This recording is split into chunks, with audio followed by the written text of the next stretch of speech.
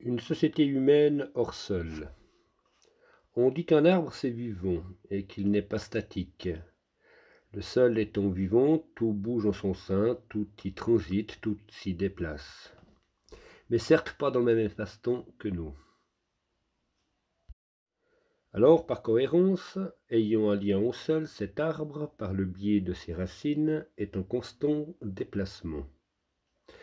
De surcroît, il prend certes que le 20 à 30% de ce qu'il constitue dans le sol, mais ce sont les oligo-éléments minéraux en tout genre dont il se nourrit. De petites choses, mais l'essentiel. C'est ces petites choses que l'on surnomme terroir. Vous savez, ce qui permet aux végétaux d'être au-delà d'une simple structure ou charpente, des êtres dits vivants avec un rôle, une personnalité et donc une existence. Voyez-y un rôle au sein du vivant, ou de la pérennité plutôt du vivant.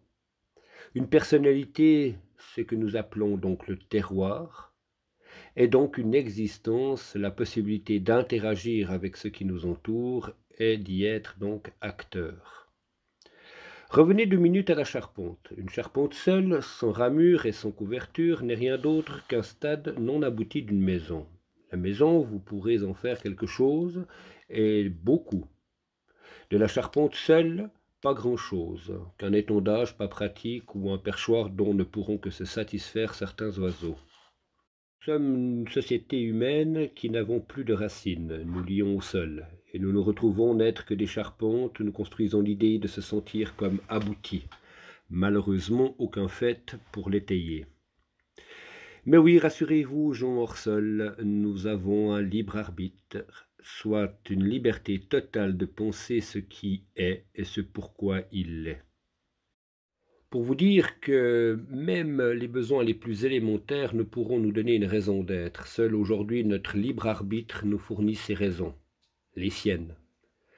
Et soit disant passant, cet arbitre n'est pas si libre qu'il n'en paraît, puisque régi par nos appréhensions de nous-mêmes et de ce qui nous entoure. Remarquez l'ordre chronologique, nous et ensuite ce qui nous entoure. Cela me rappelle un texte que j'ai écrit où je dis en gros ceci. Naîtra d'abord le doute que l'on pourra se satisfaire de ce que nous donnera ce qui nous entoure, et ensuite de ce doute, le doute envers ce qui nous entoure, de pourvoir à nos besoins pour toujours. Nos racines, pour qu'elles en soient, se doivent être communes par rapport aux lois qui les régissent ou les valeurs. Une racine ne peut être un pied de table ou l'idée que l'on en aurait seul. Autrement, une racine n'est une racine qu'avec toutes ses spécificités, sans qu'il en manque, ou alors c'est autre chose, mais certainement pas une racine. Sur ce, bonne culture de votre personne, qu'elle soit hors sol ou pleine terre. Septembre 2019, Brébré.